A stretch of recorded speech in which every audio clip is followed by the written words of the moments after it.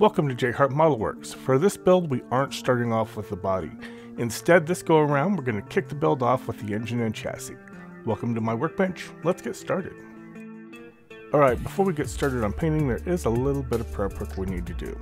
We went ahead and cut all the parts off the sprues for the engine and the chassis, and now we're going to join the two halves of the engine block together with some Tamiya Extra Thin. I am going to go around and put a nice liberal coat all the way around both parts so that when we sandwich them together, they will form a nice strong bond.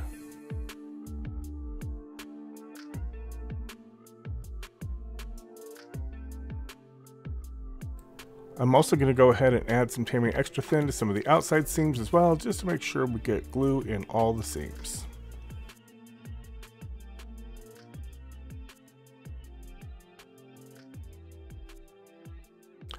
The front casing for the engine has a pre-molded in oil filter and honestly I'm not a fan. Now I have a 3D model of this engine that I purchased from Cults 3D and when I printed it out I tried to scale it down but it's a little too big but the oil filters are just right and these look a lot better in my opinion so I'm going to use one of these instead. We're going to go ahead and take our display nippers and we're going to cut off the original kind of close but we want to leave a little bit of material there so that we can go ahead and sand everything nice and flush and leave just a little bit of a base for our oil filter to glue to.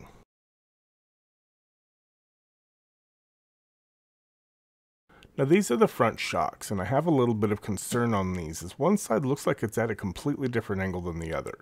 But test fitting, I think they even out once the part is set in place. But of most concern right now is the seam that runs through the springs. I got this tip from Paul at International Scale Modeler, and we're going to take some Tamiya Extra Thin and we want to brush it across the ridge following the angle of the springs. We want to keep brushing over and over, and because the seam line is thinner than the spring detail, it'll melt the ridge first, leaving our spring detail intact. Keep an eye on it though, and stop as soon as you see the seam go away and go work on the other side.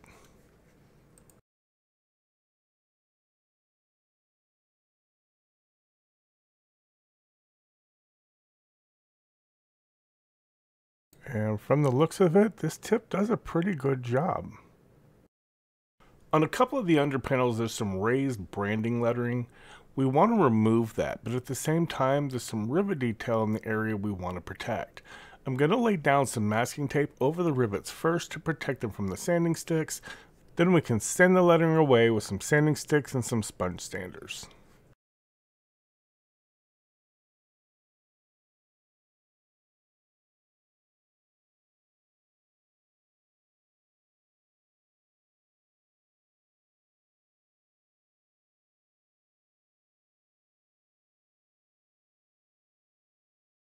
Now with all the lettering sanded away, it does look a little rough here, but after a couple of coats of Mr. Surfacer 1000, this will all be nice and smooth again.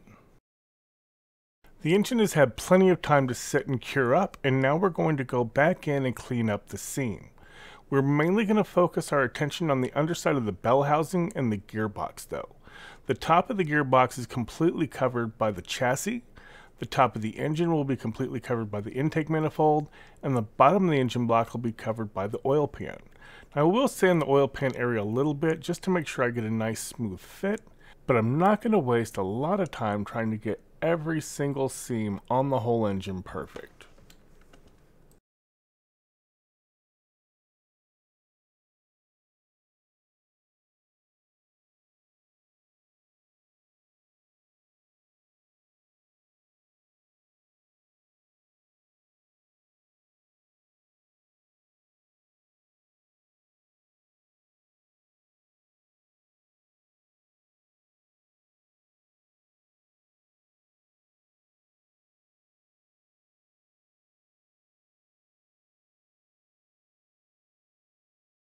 The last thing we need to take care of are these ejector pin marks on the bottom of the chassis. We are going to start by sanding the area. The ejector marks typically sink in, but when the pin pulls out, it sometimes pulls the edge of the plastic with it, leaving a ridge. So we want to sand that down first.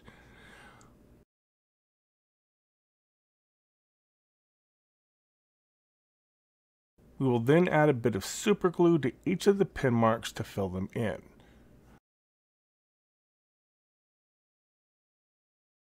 Now you can either wait for it to dry or be impatient like me and hit the glue with some Insta-Set. Once the glue is cured, we will then go to town with our sanding sticks and sponge sanders again.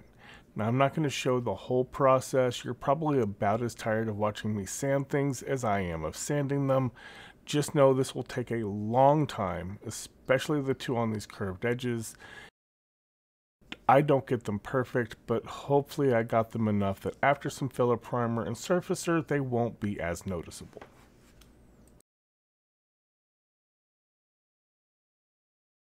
The kit valve covers have some really nice raised lettering and we're going to detail paint this with some Vallejo Model Air Silver.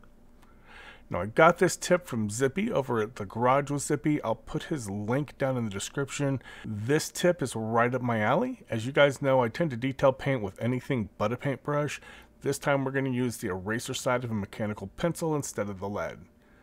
We want to dip the eraser in our silver paint, then tap most of it off on the side so you can see the eraser is silver, but it's not flooded with paint. The more paint you have on the eraser, the more it will flow off and get all over the part on the areas we don't want paint.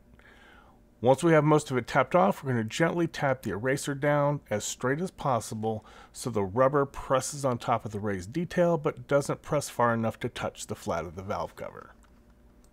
When the paint stops transferring onto the raised lettering, just dip it back in and get some more paint, tap most of it off, and go back to adding in our detail.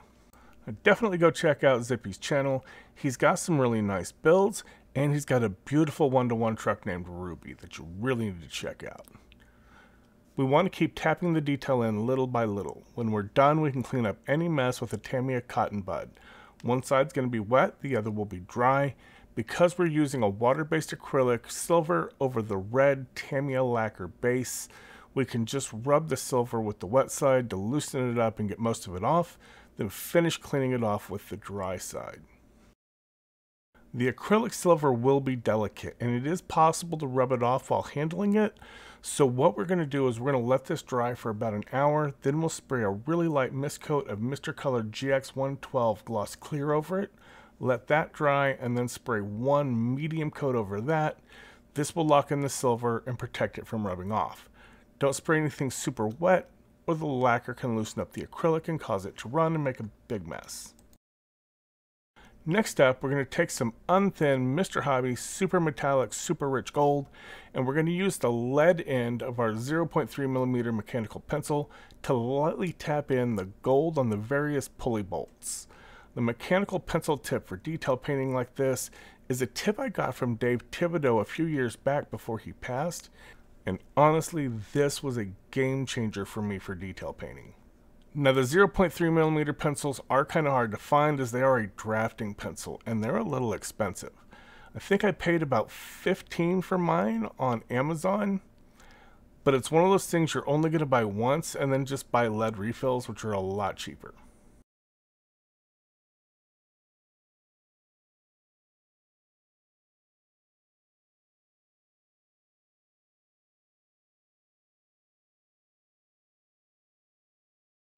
This is a level of detail I could never get with a brush.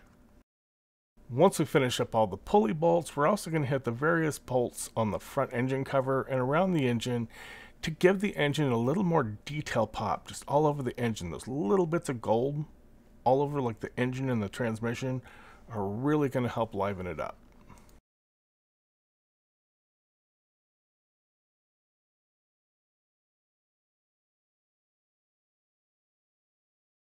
Now for our next bit of pre-assembly detail work, this kit doesn't come with a lower radiator hose, which is one of those things that just bugs the crap out of me, and I've been told it's something judges look for at shows. So we're just going to go and drill a 1mm hole down here where the lower radiator hose would connect to the water pump, and we'll add that hose in later with some wire. We also want to drill another 1mm hole in the bottom corner of the radiator where the other end of the hose will connect. And before we can assemble everything, we want to hit all the parts with a wash. Now I'm using Tamiya's panel liner, and we want to get it into all the little nooks and crannies to really bring all that molded in detail to life. For the engine parts, I like to mix in some of the Tamiya black and some of the brown and the dark brown. Kind of gives it more of an oily look, a grungy, grimy engine grime to it. Now one thing we want to make absolutely sure we do is we want to get the black and just the black in between all the springs for the coilovers. I didn't cut these up and make real shocks and springs, so getting this black wash in here will accentuate the springs and make them look a lot more realistic.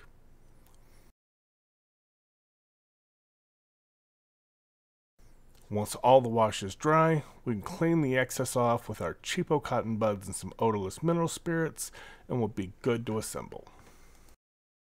Now we're going to move on to assembling the engine, starting with the heads. We're just going to add a little bit of super glue to the mount points, and I like to add a little extra on the flat surfaces, then we'll drop the heads in place. It is important to get the right head on the right side as the holes for the valve covers are keyed to only fit a specific valve cover, but I found I could get the wrong heads in the wrong place. Now we're going to go ahead and glue on the valve covers. Like I said, the spacing for these holes is wider on one side than it is on the other, so you can only get the valve covers on a specific head.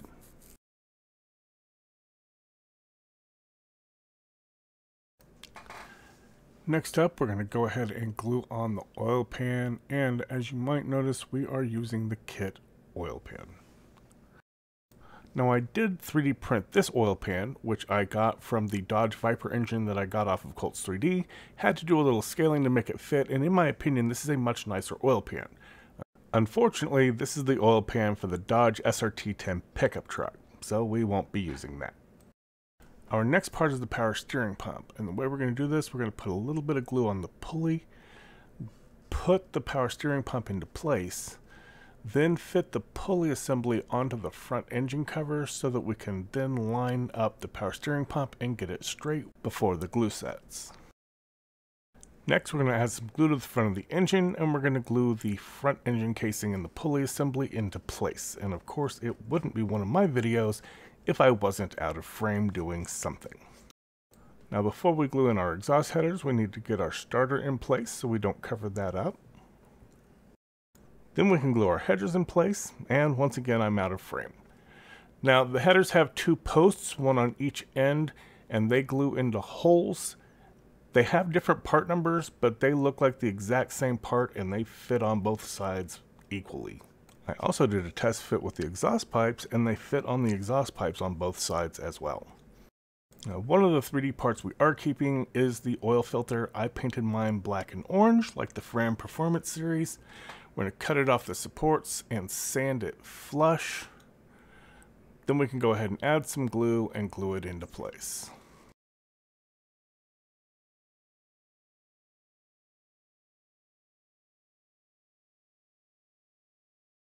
And that's going to wrap up the basic engine assembly. You probably notice we don't have the intake manifold on yet.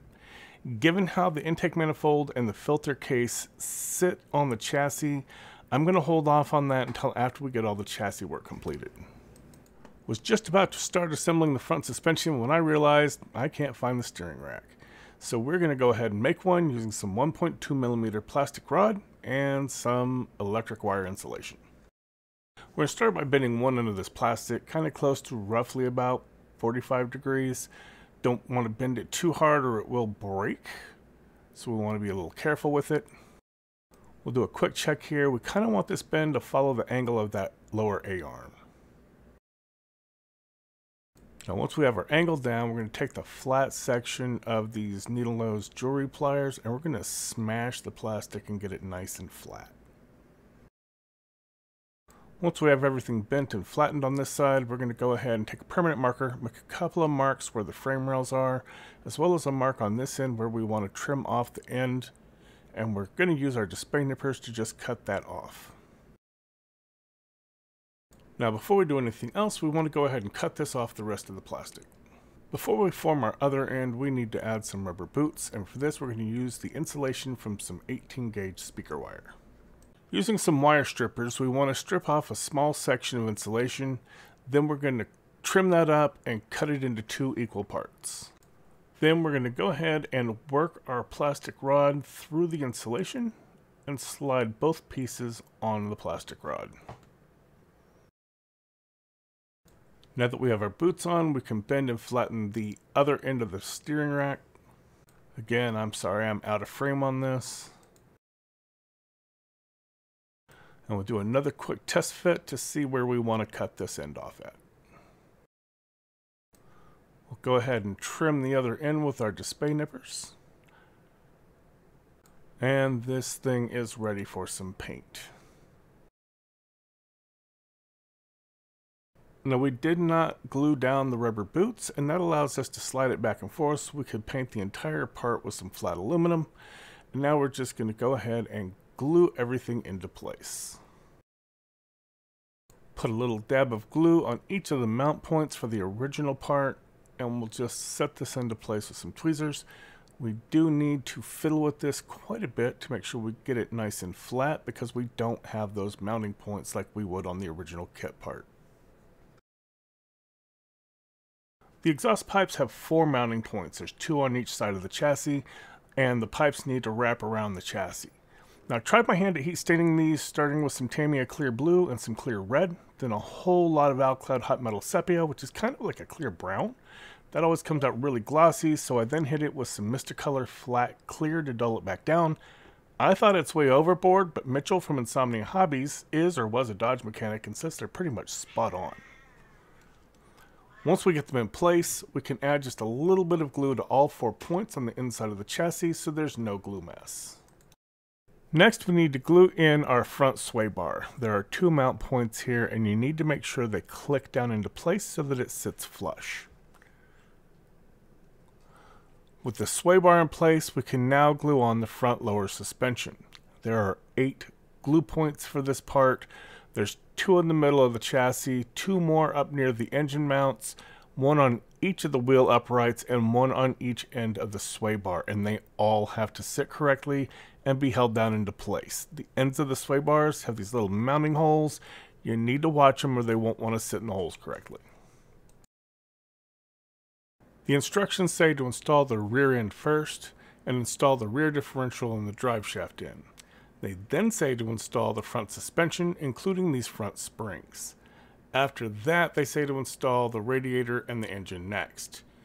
Do not do it in this order. You will have issues either getting the engine in on the drive shaft or be completely unable to get the water pump and radiator hose in. The water pump has the radiator hose as one piece and it has to glue to the front of the engine and goes under the spring bracket, which will be impossible to do with the radiator in place. It's nearly impossible to do with just the springs in the engine in place. Do yourself a favor don't do it like I did. Glue the engine in first. Glue the water pump and radiator hose to the front of the engine. Then you can glue in the radiator and the springs and then move on to the rear end. So here I go, putting glue on the four mount points for the springs. There are two on the frame and two right behind each of the uprights. To get the springs in, you need to slide one end in and give the sides a squeeze. The bracket will flex slightly and you can get the other spring to slide inside the A-arm and then press it home, making sure the spring ends sit right behind the uprights. Now to glue the engine in place, we'll put a little glue here on the transmission cross member and on these two engine mounts. The engine falls into place really easy. You place the pin on the transmission on the cross member in the little hole, and the engine just drops right into place on the mounts. But make sure it sits all the way down on the engine mounts or the engine will interfere with the hood later on when you put the body on. And this is where I have to fight and struggle and nearly break the suspension to get the water pump in place. Put a drop of glue in the front of the engine and then we will twist, press, and wiggle and eventually the shock brace flexes just a little bit and lets the water pump slide into place. And I did cut a lot of that footage out. The radiator has two holes to seat the electric fan, and the round edge of the fan goes to the bottom of the radiator, which contains the two mounting pins. We can then add a couple of drops of glue to the radiator mounting points on the chassis and we'll slide the radiator into place and make sure it goes all the way down into the holes and that the upper radiator hose sits correctly. As mentioned in the prep section of the video, this kit has no lower radiator hose. We're going to use some ProTech heater hose to make one. Now we want to start by dry fitting the hose in place and getting a measurement of how much we need. Then we can cut off a piece and strip a little off the end. We'll then add a drop of glue to the end that we stripped and we can fish it up into the hole we drilled into the lower water pump. Now, I'm not sure what happened to all the footage of me struggling to get the radiator hose up into place, but it got messed up. So, poof, we magically have a lower radiator hose. Now, just like the Audi R8, this kit has separate wheel wells that need to be glued into place.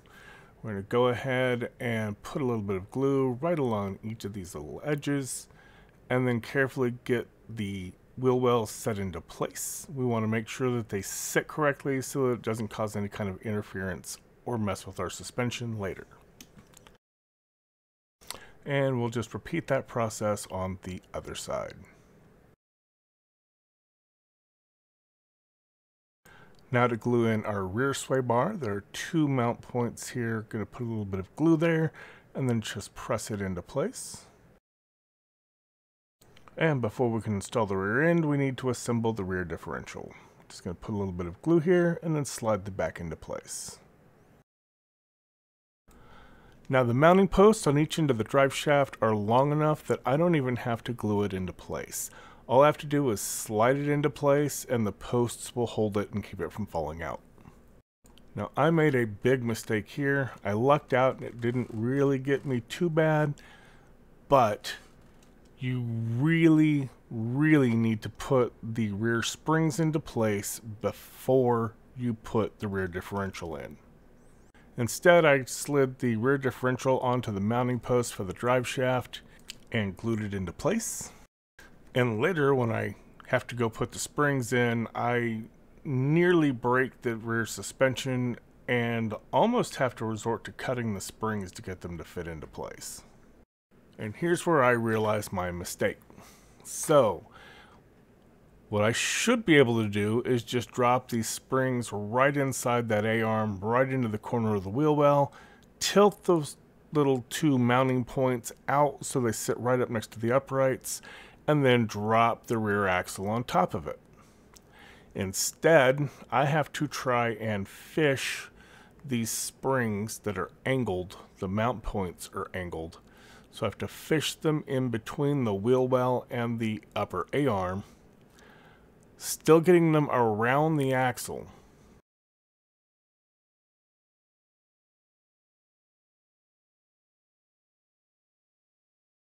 Once I finally get them to slide in and around the axle, then I can glue the end of the spring to the inside edge of the wheel well and tilt the upright points back out towards the uprights.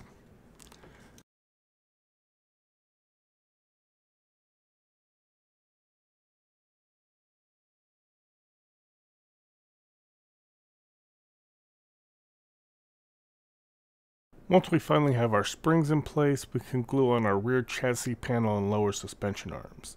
There are six glue points, two of which are these posts that slide into tubes on the back of the panel, and we want to make sure we get these pushed all the way down. The panel wants to stop a little short, and doing so will keep the A-arms from gluing into place. So you really got to give them a good push, and they'll just pop into place. And because the springs aren't exactly in the right place, I gotta kind of wiggle those little upright posts to get them to sit properly in the suspension arms. Now I am going to go ahead and hit this little joint here with some Insta-Set and that'll just kind of hold it into place a little better while that glue sets. Now we've got to fiddle with the spring mount points on this side too and then we can hit it with an insta-set also. A little more pushing and nudging things into place and we have our rear suspension complete. The engine is in, the chassis is done, and it's time to wrap this up. We need to assemble the air filter box.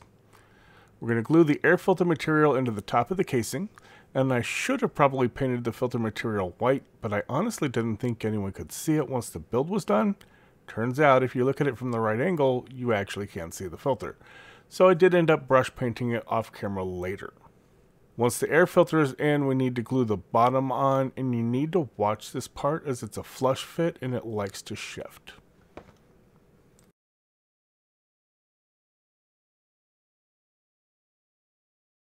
So the 3D model has a beautiful intake manifold that is so much nicer than the kit part. I scaled it down so that it would fit perfectly on the heads. I included the throttle body and the fuel injection rails and printed it all up as one piece.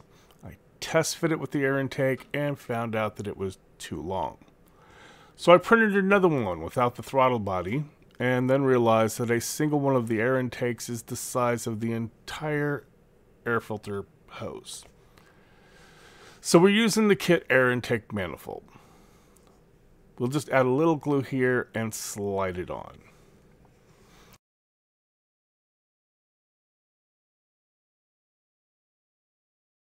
Next we'll add a little glue to the air cleaner mount point and a little to the top of the radiator and we'll set the air cleaner in place.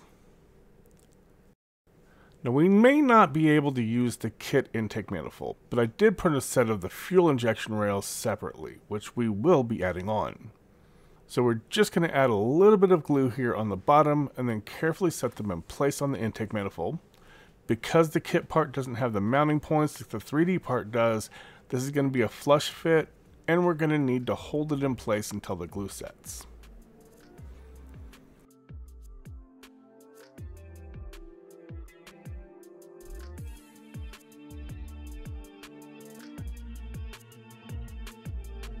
And that is going to wrap up this video. I've done some test fitting with the body and with the wheels, and so far everything seems to fit well and sits on all four wheels. It has been pretty cold here, so I'm not sure if I'm moving on to the body or the interior next. It's been too cold to paint for the body. But for right now, thanks for hanging out with me. I appreciate you taking the time to watch and build with me, and I'll catch you on the next one. If you enjoyed the video, please hit the like button. Also, feel free to leave comments, feedback, critique, or anything else in the comment section below. I enjoy interacting with all my viewers in the comment section and try to reply to all the comments I receive. If you want to catch future videos, please consider subscribing to my channel and make sure you click the bell notification icon so you can be notified when I upload new videos. As always, thank you for watching, keep modeling, and have a great day.